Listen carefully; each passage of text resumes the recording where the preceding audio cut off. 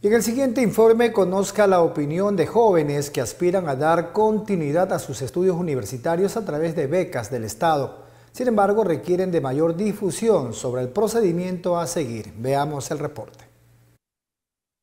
La expectativa para la obtención de becas en jóvenes que han iniciado o están por comenzar estudios universitarios se incrementa en el oro. Muchos coinciden en que no todos tienen la oportunidad de estudiar y trabajar al mismo tiempo, por lo que dicha opción es la más viable. Económicamente y sustentablemente para mi economía, más que todo, porque hay veces que estudiantes no contamos con los recursos necesarios para poder asistir y cumplir nuestros estudios. Yo creo que muchos de, de, los jóvenes se sienten afectados por eso. Jinson Fernández indica que es necesario informar más a los estudiantes sobre el tema. A criterio suyo, existe un gran número de aspirantes a la educación superior que desconocen sobre el procedimiento, lo que da como resultado que se queden sin estudios. La verdad que sí me llama mucho la atención. No, no tenía mucho conocimiento así a fondo de cómo son estas becas, la logística, qué hay que hacer o cómo puedo acceder. Nelly Piedra, estudiante de la carrera de enfermería menciona que acudir todos los días a las aulas representa mensualmente un gasto significativo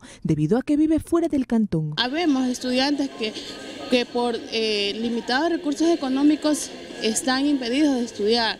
Muchas veces quienes vivimos lejos, la cuestión de, lo que es este, vialidad, los pasajes, sería un, aporte eh, realmente necesario para todos los estudiantes que vivimos en, afuera, de, en otros cantones. Actualmente en la página de la Secretaría de Educación Superior, Ciencia, Tecnología e Innovación es posible obtener la información referente a la convocatoria en línea hasta el 30 de noviembre.